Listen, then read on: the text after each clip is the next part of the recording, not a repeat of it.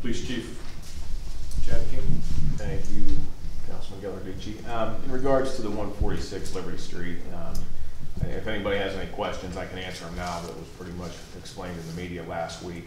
Uh, just as an update, the individuals, Mrs. Rittmeyer and Mr. Stancic, had their preliminary hearings today at court, and the charges for child endangerment were actually upgraded to felonies, and the charges were all held for court.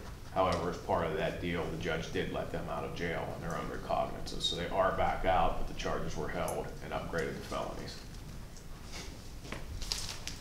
Anybody have any questions